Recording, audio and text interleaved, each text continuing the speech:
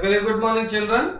I am Lakshmi Narayana Gunta, PGT in Zoology at APMS and Junior College, Karavanja, and also working as Super 60 Zoology faculty at Super 60 Duppalvalsa, Srikakulam.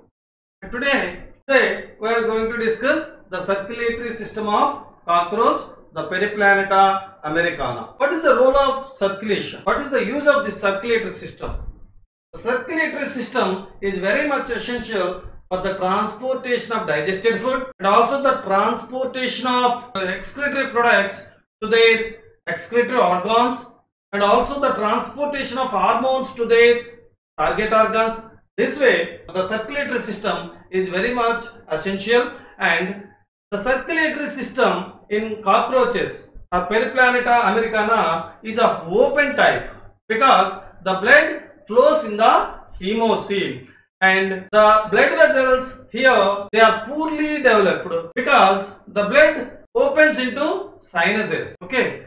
In this diagram you can observe the blood is flowing in sinuses. This sinus is called as hemocoel hemo means blood. Coelom means cavity. The blood flows in cavities. That's why it is called as a hemocoel and we, we the humans have developed highly developed blood vessels. Whereas these cockroaches they have poorly developed blood vessels.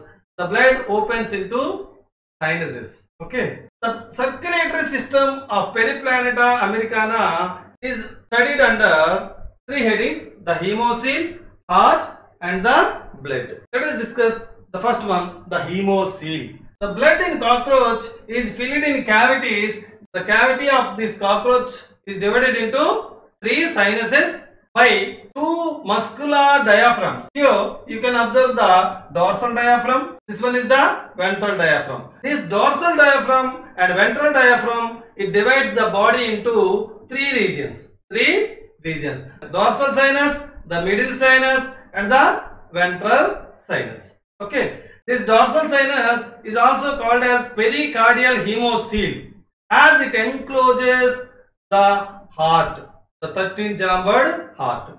Middle sinus is also called as the perivisceral hemocoel as it encloses the visceral organs. Most of the visceral organs they are present in this perivisceral hemocoel. And the last one, this is the ventral sinus which is also called as perineural sinus as it encloses the double ventral nerve cord. As this is very close to the sternal plates, it is also called as sternal hemocoel.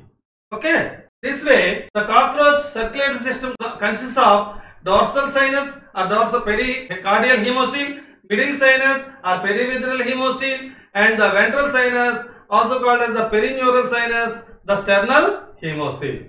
Okay.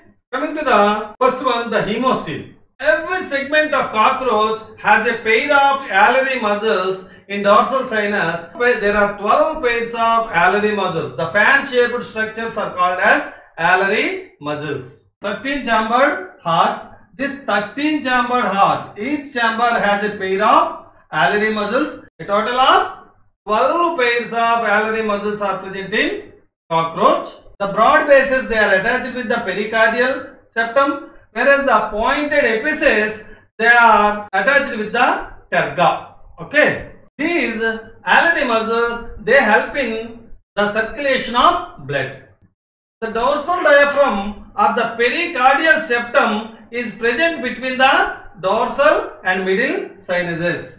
Here you can observe this is the dorsal sinus, this one is the visceral sinus or the middle sinus. Dorsal diaphragm or dorsal septum which separates the it is present between the dorsal sinus and the middle sinus. This septum has a number of pores which are valvular. These pores they allow or they facilitate the passage of blood from middle sinus to dorsal sinus but not from the dorsal sinus to visceral sinus. Okay. This middle sinus is the largest sinus and it encloses almost all visceral organs like the alimentary canal, the salivary glands, etc. Okay. And this ventral septum is present between the ventral sinus and the middle sinus. It is present in between these two sinuses. It is also having a number of pores which are valvular. These valvular pores they prevent the backflow of the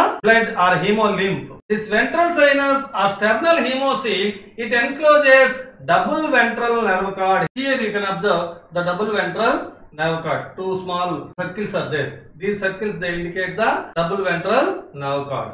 Coming to the next one, the heart. The heart in cockroach is 13 chambered and it is long muscular contractile tube located in the pericardial hemocoel. Out of these 13 chambers, 3 chambers are present in the thoracic region and 10 chambers they are present in the abdominal region. Each chamber opens into its preceding chamber which has an valvular opening and except the last chamber, each chamber has a valvular apertures on the lateral sides. These valvular apertures they are also called as the ostia. This one is auricular valve and this one is the ventricular valve. This ventricular valve. These valves they allow the blood from the pericardial sinus into the heart. Okay. And the anterior most chamber it continues as aorta and which leads into the head sinus. Okay. And coming to the next part of the circulatory system that is the blood. This blood is also called as hemolymph. Why the blood of cockroach is called as hemolymph? Hemo means blood. Why it is called as hemolymph? Lymph is a colorless fluid. As the blood of cockroach is colorless, because it lacks respiratory pigment. As we have hemoglobin as a respiratory pigment, our blood is red in color. But this respiratory pigment is absent in cockroaches. That's why it is colorless fluid. That's why it is called as hemolymph. And this blood it constitute the liquid plasma and the hemocytes, particularly the white blood corpuscles, the WBC. As the blood, it is not having any respiratory pigments, it has no role in respiration. Okay. Coming to the functions of blood, it absorbs the digested food and it supplies the nutrients to each and every cell. Okay. And it also carries the nitrogenous waste products to the excretory organs like Malpighian tubules which collect the nitrogenous waste from this hemolymph. Okay. The blood, it also carries the defensive phagocytes to the organ of infection. It also carries the hormones to the target organ. These hormones, they are the secretions of the ductless glands. Okay. And let us see how this blood is circulated, what is the process of circulation in this cockroach. As the alveoli muscles, I have told you, they are fan-shaped structures, broader at the base and pointed at the top. As the broad bases, they are attached with the pericardial septum. As these alveoli muscles contract, the pericardial septum, it becomes flat and thereby the volume of the pericardial sinus increases and thereby the pressure inside the pericardial sinus is decreased. What happens? Automatically the blood from the perivisceral sinus it enters into pericardial sinus. As the alveoli muscles they get relaxed. What happens? Volume of the pericardial cavity is decreased. Thereby the pressure inside the pericardial cavity is increased. As there are valvular pores in the dorsal septum, they won't allow the blood to come back. That's why the blood is automatically forced to enter into the heart chambers through valvular ostia. Okay. As the alveoli muscles they get relaxed, the PC septum it moves upwards.